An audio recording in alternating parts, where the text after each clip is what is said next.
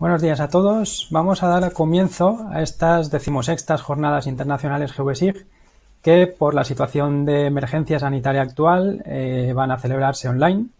Y eh, vamos a dar comienzo, sin más, a la primera eh, ponencia.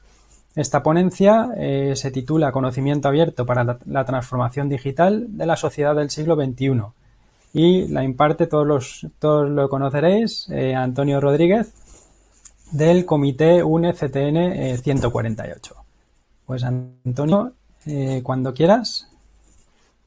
Muy bien. Eh, vamos a compartir la pantalla.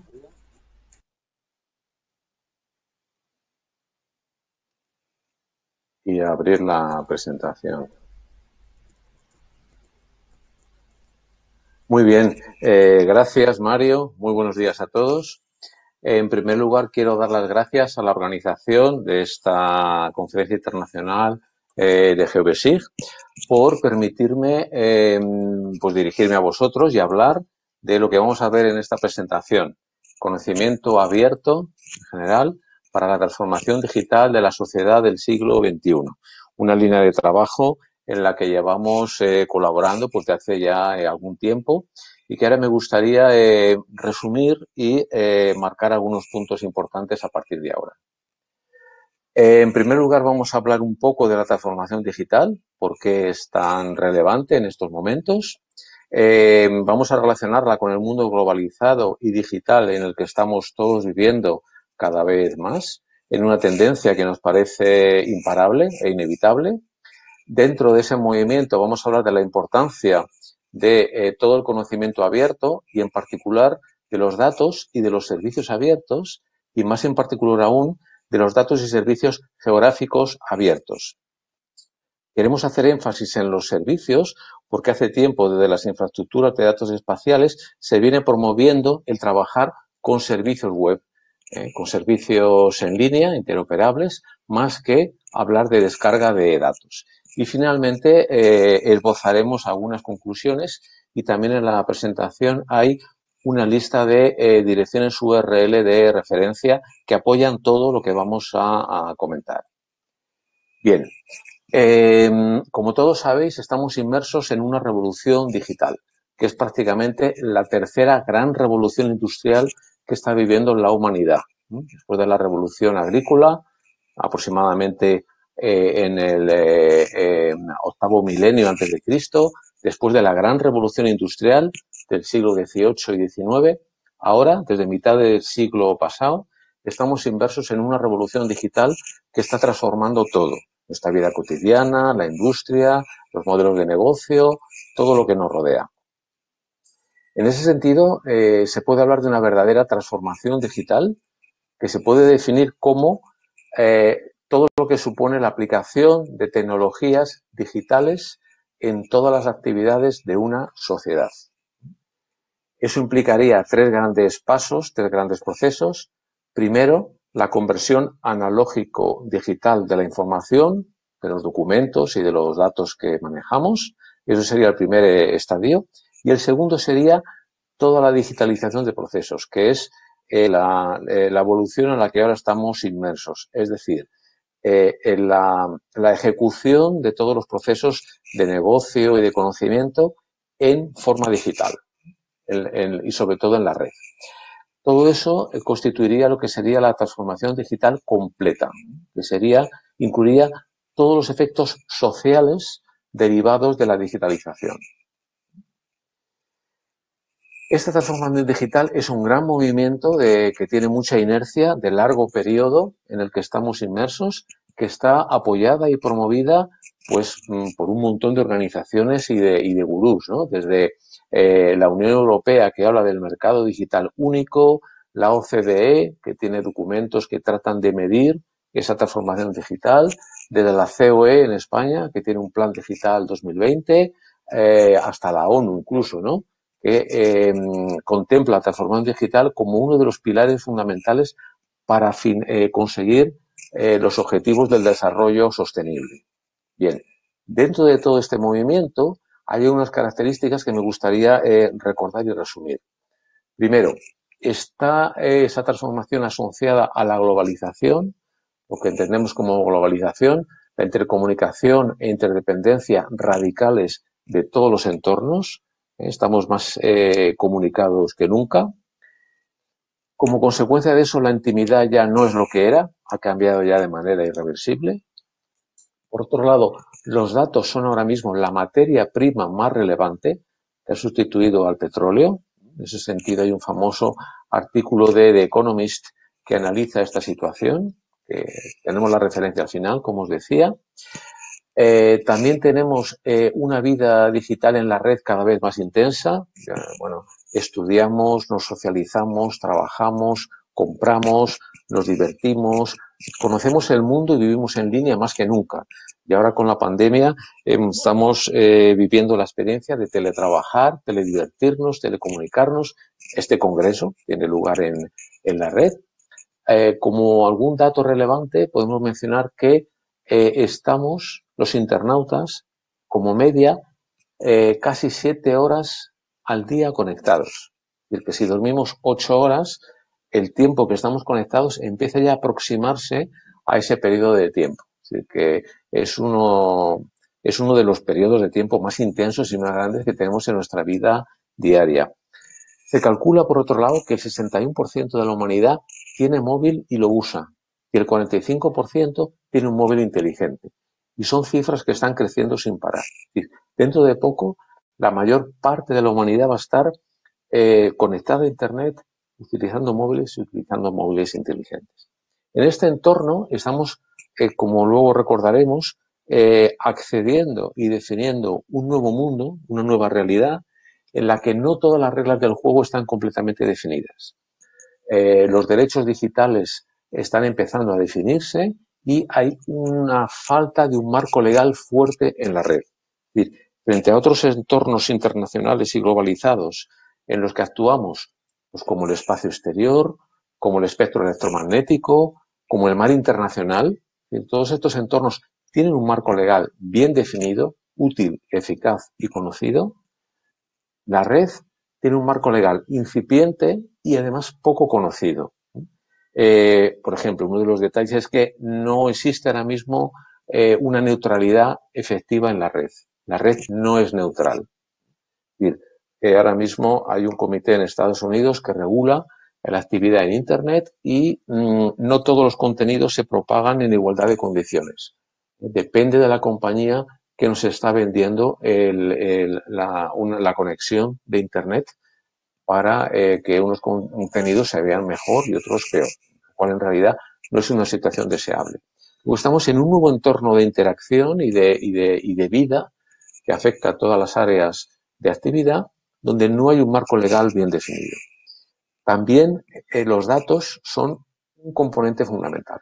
En ese entorno, las culturas abiertas parece que son la clave. Que todo lo que tenga que ver con conocimiento abierto, ciencia abierta, open access, open source también, el software de, fuentes abiertas es fundamental, los datos abiertos, los servicios abiertos, toda esa galaxia de iniciativas y de actividades son clave para potenciar un desarrollo económico armónico, con igualdad de oportunidades, que no esté enrarecido, con una sana competencia y para potenciar la transparencia y la reutilización de recursos. Luego, potenciar esa galaxia de actividades es fundamental. En ese sentido, hay una parte que es muy importante, que es la información geográfica y eh, la información geográfica de referencia. La información geográfica es muy importante, es especialmente relevante porque proporciona un modelo real del mundo, del mundo físico, gestionable. Es decir, no se puede manejar la realidad a escala planetaria directamente porque es inabarcable. Pero la formación geográfica nos brinda un modelo en el que poder eh, hacer análisis, tomar decisiones y hacer todo tipo de eh, especulaciones y aplicaciones. Esa es la idea eh, que lanzó Al Gore en el año 98 con el concepto de Digital Earth, un modelo digital de la Tierra compartido por todos. Es importante que sea compartido por todos y sea único, porque de esa manera todas las aplicaciones que se montan encima son interoperables geográficamente y se pueden superponer unos, eh, unas a otras. En ese sentido, es también muy importante la información geográfica de referencia. Es la información geográfica básica cuyo propósito es servir para georreferenciar otros datos que son temáticos. Eso es muy importante para tener un modelo geográfico compartido. Y lógicamente, si existe ese modelo geográfico, debe eh, estar publicado como datos abiertos y también como servicios abiertos. Eso es por lo que nosotros creemos que los datos de los organismos públicos que generan información geográfica básica eh, son importantes y deben compartirse como datos abiertos y como servicios web interoperables. Esa es la esencia de las infraestructuras de datos espaciales en las que llevamos trabajando ya, eh, bueno, pues un buen número de años, ¿no? Eh, aproximadamente 16, los mismos que, que. En ese sentido, los datos abiertos son fundamentales en el momento histórico que estamos viviendo. Curiosamente, ya hemos explicado varias veces que los datos abiertos son muy recomendados, pero escasamente implementados. Los datos abiertos interesa recomendar que se definen como datos publicados sin barreras económicas, técnicas ni legales para su uso y reutilización. Son datos en los que las barreras se eliminan radicalmente y si no se eh, reducen a cero, porque es imposible, se aproximan asintóticamente a cero. Esta definición es la que a nosotros más nos gusta, es de Bárbara Ubaldi, la jefa de eh, la unidad de datos abiertos y gobierno digital de la OCDE. Bien, aunque los datos abiertos son recomendados por una amplia, eh, un amplio abanico de organizaciones, el G8 en el 2013, el G20 en el 2015, con la International Open Data Charter, que ha sido firmada por nada menos que 22 gobiernos nacionales y 49 gobiernos locales, eh, la Unión Europea, que los promueve en el, en el esquema europeo de interoperabilidad, diseñado en el 2017, y el Banco Mundial, que apoya varios proyectos que promueven datos libres, y el consorcio W3C, que es la, el principal agente eh, regulador a nivel técnico de la red, que tiene un proyecto que es el Open Data eh, eh, Barometer, el barómetro de datos abiertos, a pesar de que todos estos organismos, las Naciones Unidas también, es decir, una amplia gama de organizaciones y de expertos también, como Tim Berners-Lee, eh, a pesar de que todos ellos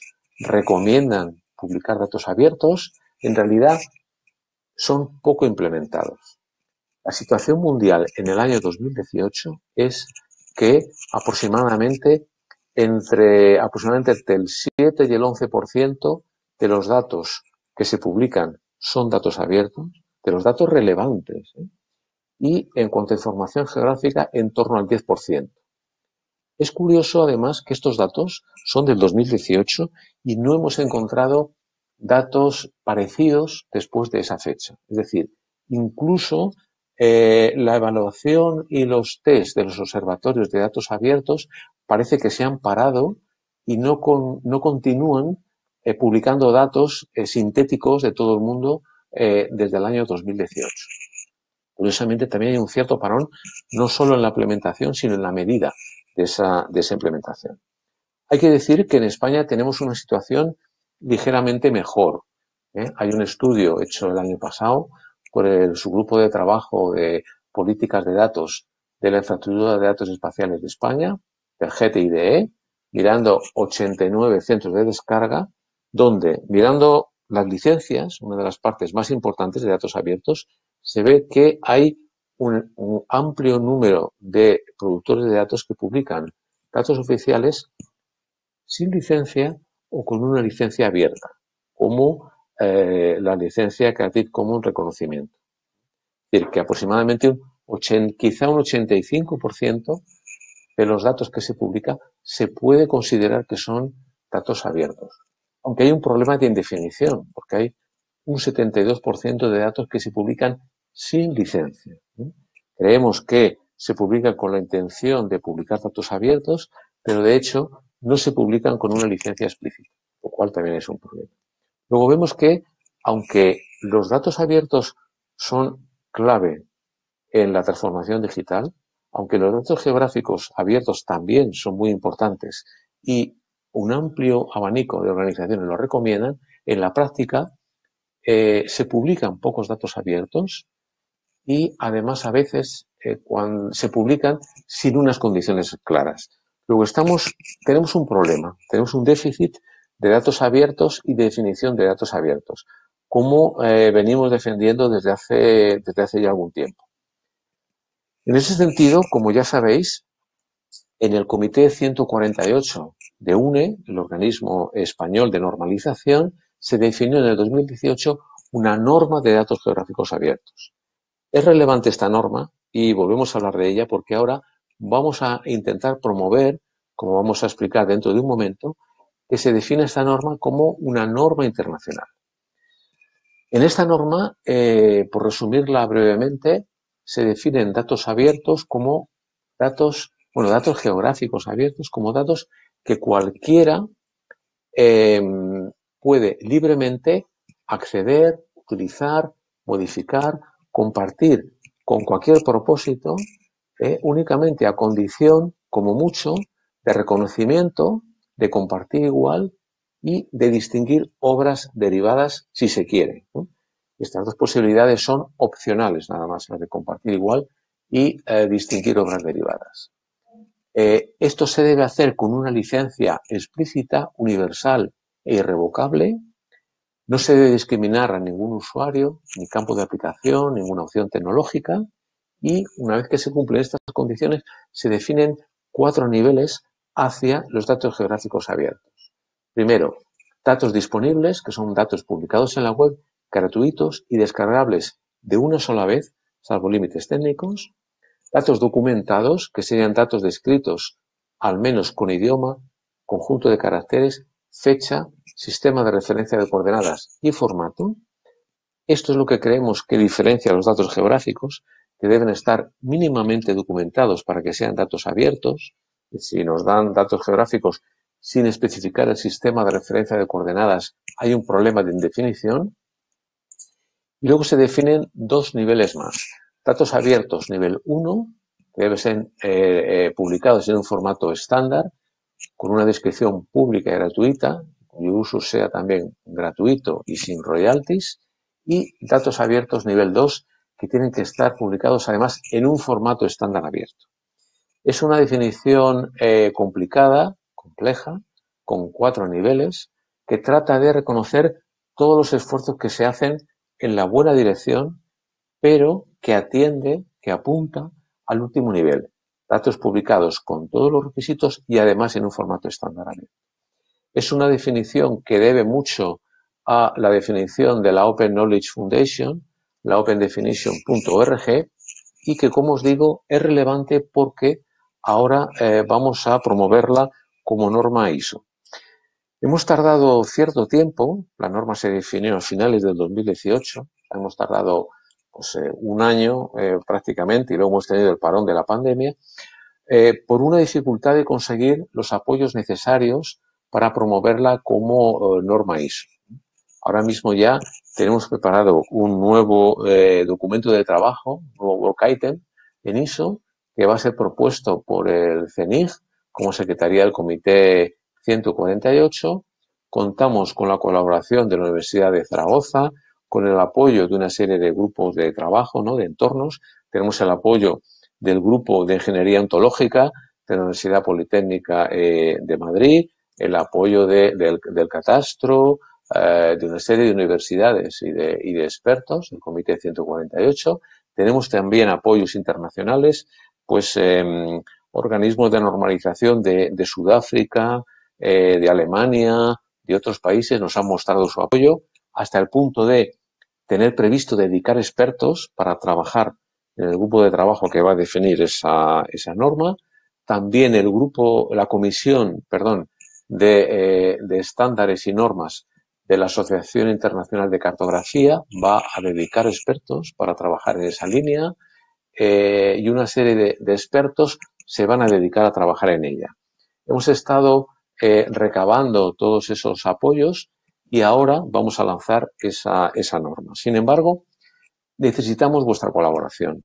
Es decir, Esta presentación es relevante para nosotros porque necesitamos vuestra complicidad y eh, que se dediquen expertos de pues, los entornos de eh, la asociación GeoBSIG, eh, OSGEO, el mundo de software libre, el mundo de los datos abiertos, el mundo de la cartografía colaborativa también, de OpenStreetMap y proyectos parecidos, para apoyar esa norma y que se defina de manera que sea satisfactoria para todos.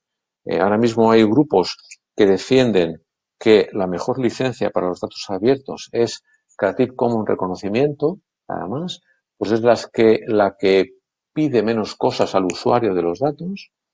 Hay quien promueve, como, como hacen todo el entorno de cartografía colaborativa, que la mejor licencia es Creative Commons reconocimiento compartir igual y similares, o sea, las licencias víricas, como las del software libre, eh, intentando promover al máximo la reutilización de la información.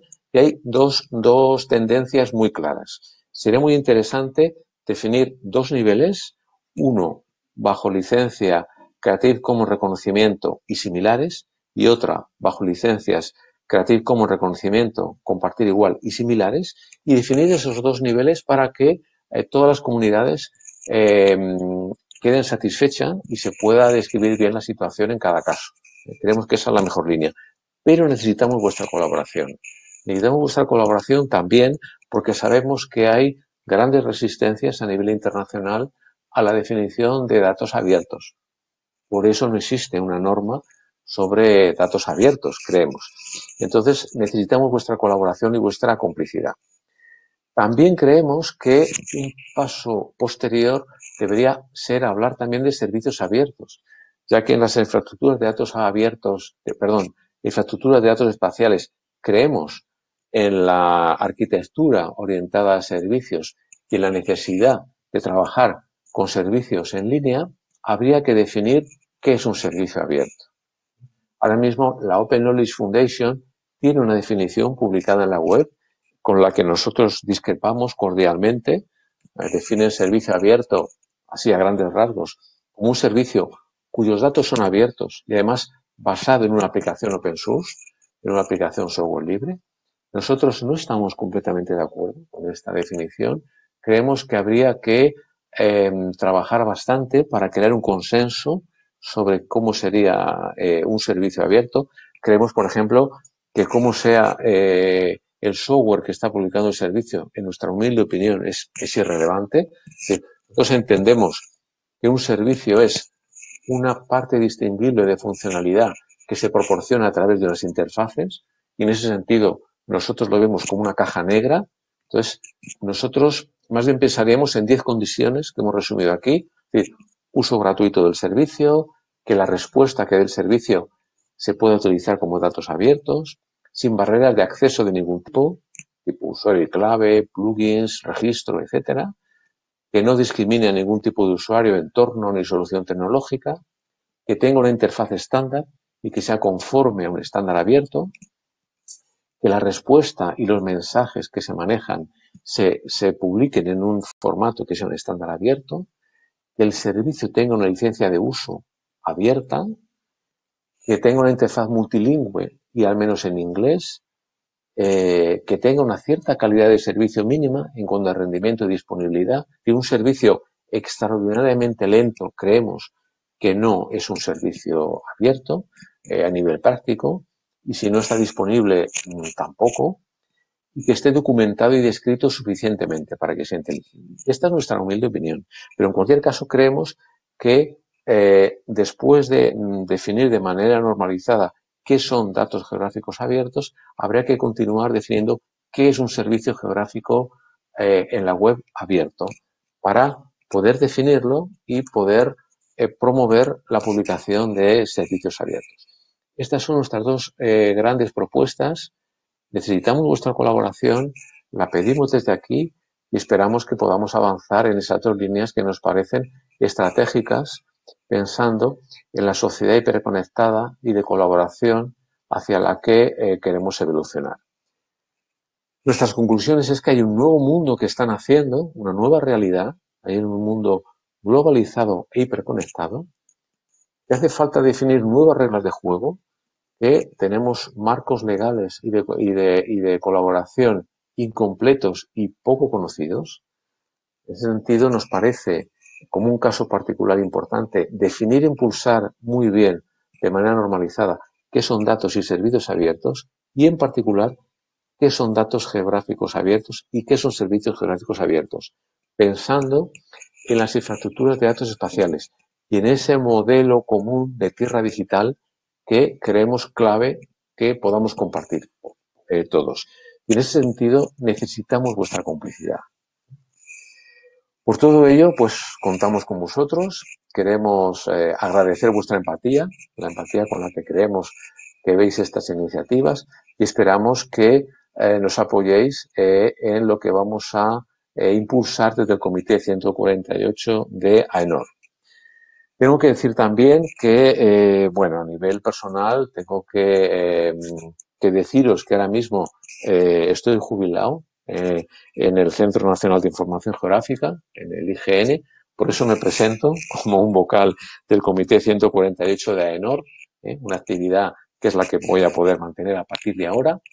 Y eh, en ese sentido me despido en cierta manera de, la, de la relación de colaboración y complicidad tan intensa que hemos tenido desde el CENIG con GeoBesig y la Asociación GeoBesig. Y a partir de ahora ya no seré yo quien lleve ese enlace, serán otros compañeros del CENIG.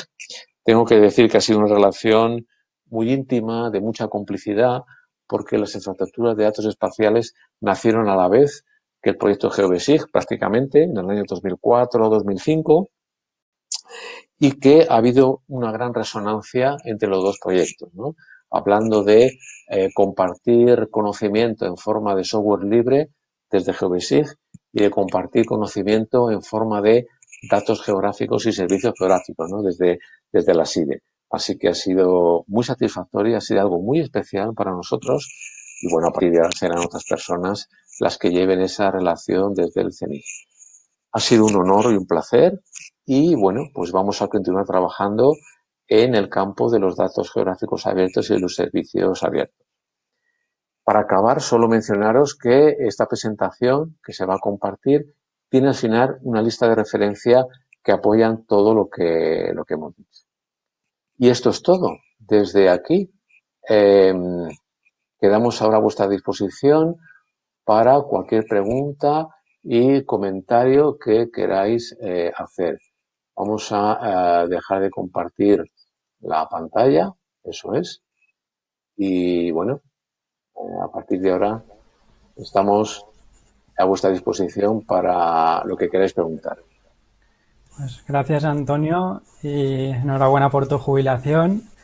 Ha sido, la verdad es que han sido muchos años de colaboración intensa con el CENIG, IGN eh, y nada, esperamos continuar eh, tal cual hasta ahora.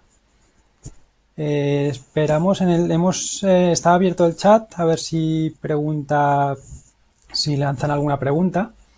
Eh, sí que comentar eso, el tema de los datos abiertos, cada vez hay, la verdad es que ha ido cambiando mucho, pero creo que aún queda, aún queda mucho por hacer. Eh, pero cada vez hay muchísimos datos más abiertos, cosa que hace no muchos años era, era imposible. Buscar simplemente un mapa de fondo para un proyecto final de carrera era, era casi imposible. La verdad es que ha cambiado mucho en los últimos años. Eh, sí, eh, gracias Mario. Sí, yo quería decir en ese sentido que los datos abiertos es una tendencia imparable que va creciendo poco a poco, pero la verdad que va creciendo demasiado lentamente. O sea, cada vez hay más eh, organismos públicos, más organizaciones en general que publican datos abiertos, pero si se mira los datos abiertos clave en un país, hay una serie de datos que están ahí bloqueados todavía y, va aumentando lentamente el tanto por ciento de eh, datos que se publican como datos abiertos, demasiado lentamente, ¿no? Para las necesidades que hay. Por eso creemos que es importante darles un impulso ahora. Sí, sí, además algunos de ellos incluso que, eh, que el no estar publicados, por ejemplo, sí que comentaban relativos a arqueología, que el no publicar una de las administraciones cierta información el no tenerla pública hacía que se hubiese construido una carretera por un sitio donde no tocaba, donde había un sitio protegido. esa problemática, la verdad es que surge simplemente por no tener esos, esos datos abiertos. Pero bueno, poco a poco la verdad es que cada día se, se nota, eh, se nota más, o sea, hay, hay muchísimos datos abiertos. Sí, otro problema es el de la internacionalidad, es decir, en un país puede haber datos abiertos, pero si los países vecinos y todo el continente no tiene datos abiertos, hay muchos estudios que se paralizan. Eh, hmm. eh, tener datos abiertos universales y eso sí que potenciaría su utilización. Sí, sí, sí. Pues a ver, bueno, comentan, hay una usuaria es más específica de GVSIG, eh, comenta diferencias entre GVSIG y, QGIS. Son los dos software libre, tienen funcionalidades en cuanto a geoprocesamiento, eh, análisis avanzado, edición, eh, manejo de datos vectoriales, raster, son eh, similares. Cada una tiene sus ventajas, sus, sus puntos más fuertes, y, pero ambas son, son similares. GVSIG está disponible en la página web del proyecto. Hay una suite, concretamente tiene es una suite completa de productos que está GVSIG Desktop para escritorio, para Windows, Linux y Mac, GVSIG Mobile para toma de datos en campo, para inspecciones, censos, inventarios, encuestas, que se pueden crear incluso formularios personalizados, y GVSIG Online, que ya es para publicación de datos, que está utilizándose en muchas eh, entidades, tanto empresas como ayuntamientos, eh, gobiernos regionales, ministerios eh, a nivel nacional y es para publicación de, datos. O sea que eh, para que eh, vea un poco la diferencia, es sería esa suite de productos. Aquí ahora sí que preguntan definir qué son datos abiertos y qué son servicios abiertos. ¿Qué dos retos más sugerentes nos dejas? Entiendo que esos datos abiertos, más allá de los geo, deberá también estar en formatos que permitan ser trabajados, es decir, no PDFs, sino formatos que puedan luego procesarse. Eso también es importante. El tema de PDFs en muchos casos que dices no puedo trabajar con ello. Sí, claro, claro, claro, por supuesto. Sí, sí. Sí, eh, claro, deben ser más, eh, formatos legibles por máquina, eh, procesables automáticamente. Aunque a veces es un poco difícil definir qué es eso. en mi opinión, un fichero raster, si procede de datos raster, que están pensados para exportarse así, pues de acuerdo, son legibles por máquina. Pero un formato raster que publica datos vectoriales ya no, porque no se pueden procesar los datos vectoriales de la manera que parece que es natural ¿no? para esos datos. Hmm. Hay cierta dificultad de definición, pero es un punto importante. Sí, sí eso la verdad es que sobre todo cuando es datos vectoriales, ahí sí que es bastante importante ese tema. Y luego ya otro comentario eh, de los datos abiertos en meteorología. En AEMET parece que eh, los datos históricos de clima no se publican, pero hay webs donde se venden. Ahí yo no lo tengo controlado, pero supongo que es eso. Sí, bueno, yo tengo un poco conocido la web, la web de AEMET.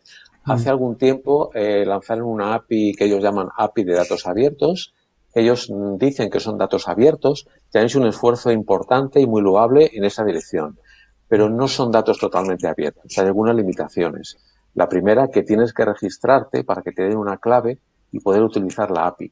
Eso ya es una pequeña barrera. O sea que, bueno, están ahí evolucionando en un campo intermedio. ¿no? Sí, ahí, a ver si, si llegan a, ese punto de datos abiertos totales, sí.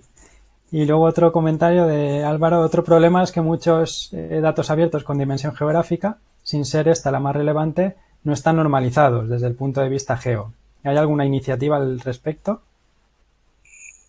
Eh, bueno, eso cuesta mucho trabajo. Las iniciativas que más promueven la normalización de esos datos pues son ISPIR en Europa, por ejemplo. Y es tan compleja la información geográfica que cuesta, cuesta trabajo avanzar en ese, en ese sentido. Pero eh, hay iniciativas, por ejemplo, en todo el continente americano, muy interesantes, de producir datos geográficos digitales, 250.000 de todo el continente, lo que se llama mapos integrados. Sería una capa a esa escala de datos básicos topográficos normalizados y que vamos a ver si se consiguen publicar con datos abiertos. Eso marcaría una tendencia importante. Pero todavía, todavía queda mucho por trabajar, como decía Álvaro. Sí. Muy bien. Pues eh, a ver si hay alguna pregunta más. Eh, y si no, de todas formas, pues eso, sobre todo hacer el llamamiento de colaboración que comentabas, aprovechar eh, a la voz para para que eh, haya esa colaboración que, solicitabais de distintas personas, entidades. Aquí otra cuestión. Si realizamos un análisis de los organismos que hay en España que publican datos geográficos abiertos, ¿qué tipo de organismos son los que más deberían trabajar más a fondo en la publicación de estos organismos estatales, eh, autonómicos, provinciales o locales? Desde nuestra visión, las administraciones locales son las que tienen mucho más que trabajar en este tema, incluso muchos de ellos incumplen requerimientos exigidos por diferentes legislaciones. ¿Cómo se podría mejorar esta situación?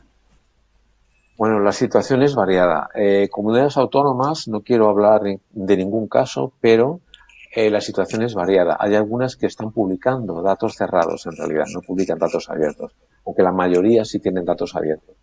Coincido con, sí, con quien ha hecho ese comentario, que el nivel local sería el más importante, muy importante. La Federación Española de Municipios y Provincias está haciendo un gran esfuerzo para promover datos abiertos. Ha publicado una guía para publicar datos abiertos y hace poco también hay disponible una guía para publicar datos geográficos abiertos. Pero hay otros conjuntos de datos muy importantes. Por ejemplo, ahora me acuerdo de los códigos postales. Los códigos postales, que son fundamentales para hacer geomarketing, ahora mismo no se publican como datos abiertos en España.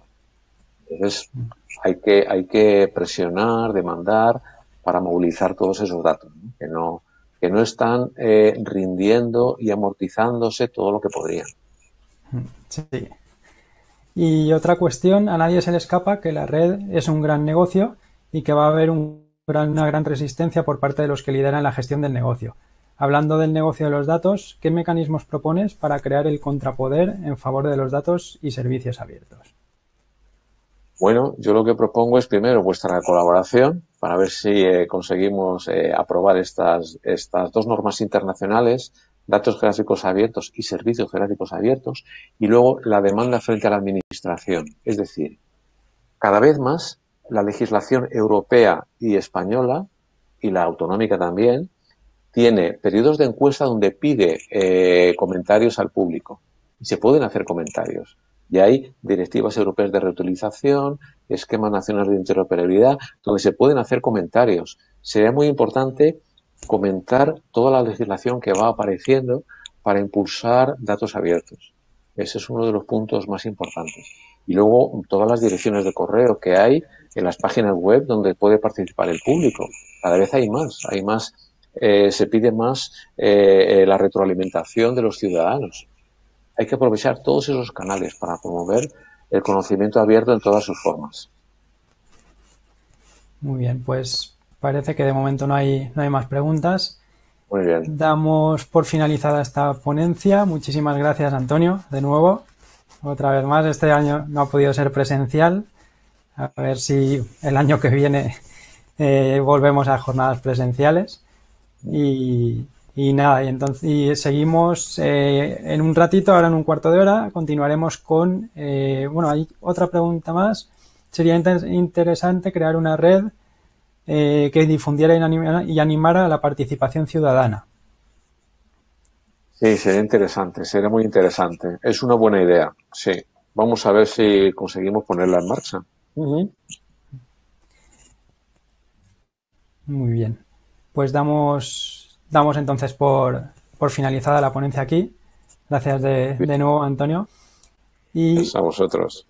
Os invitamos a la siguiente ponencia dentro de un cuarto de hora sobre el sistema, la IDE de Uruguay y el Sistema Nacional de Direcciones. Esta será en inglés. Y eh, os invitamos a seguir en el, en el resto de ponencias de las jornadas. Muy bien, muchas gracias. Gracias. Hasta luego. Hasta luego.